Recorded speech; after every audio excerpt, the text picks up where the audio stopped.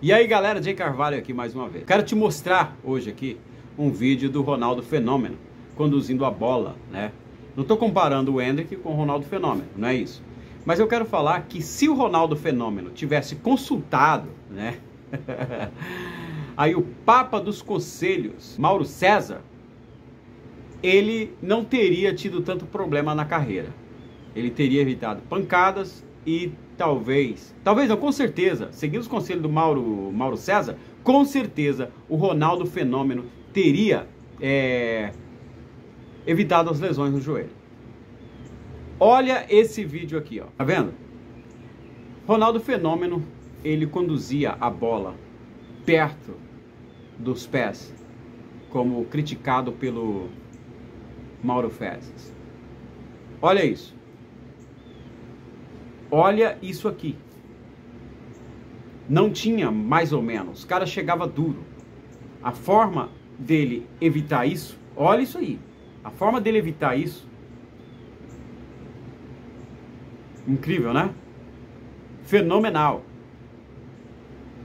Era com aquilo que ele tinha de melhor, que era a força, a velocidade e a habilidade nos, nos dribles. E a bola nunca longe, sempre perto dele. Olha isso aí. Mas, quando foi perguntado ao César o que ele achava, o que, que ele tinha a declarar da entrada maldosa, criminosa do corintiano no Hendrick, ele não quis falar do jogador, mas ele quis falar do Hendrick. Ele disse que o Hendrick ele vai estar exposto isso, ó, inventou a roda aí, né? A gente não sabia até então que o Hendrick estava exposto a esse tipo de jogada. Aliás, que jogador nenhum que conduz a bola, que dribla, está exposto a isso. Obrigado, Mauro César, por falar isso, por revelar isso. Agora, o Hendrick precisa mudar o jeito dele jogar. o, Hendrick, o Hendrick precisa soltar mais a bola.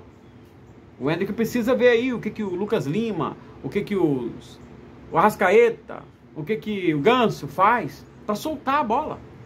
O Hendrick tem que soltar a bola. Será que o Mauro César ele conectou a pergunta que foi feita a ele com a resposta que ele deu, que ele trouxe, que não tinha nada a ver o universo do Hendrick que conduzia a bola com a maldade do cara? Que a maldade do cara não tem nada a ver com porque que o Hendrick conduziu a bola? Se fosse qualquer outro jogador que tivesse indo em direção ao gol ali, a mente daquele cara foi o causador daquele golpe, daquela pancada, e não o estilo do jogador? E ainda tem aí uns bocas de sacola que vem no vídeo xingar, brigar, falar. Sabe por quê?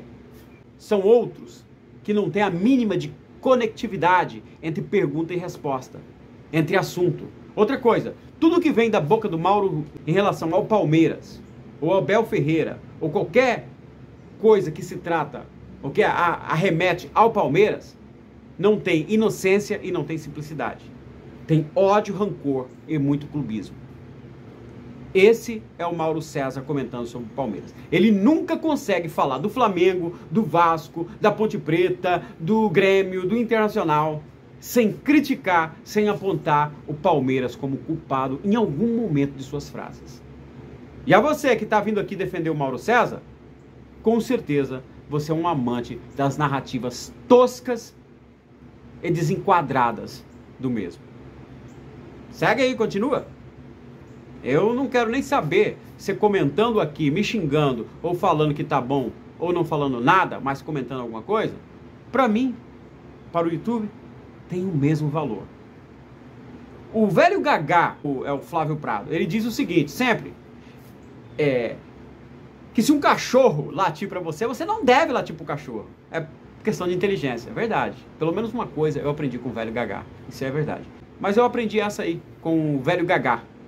Cachorro latiu? Você não vai latir de volta, entendeu? Então você que tá me xingando, criticando aí, fica à vontade, tá bom? Ó. Gente, eu sou o Jay Carvalho e deixa o seu like no vídeo, se inscreva no canal e vamos que vamos! Valeu!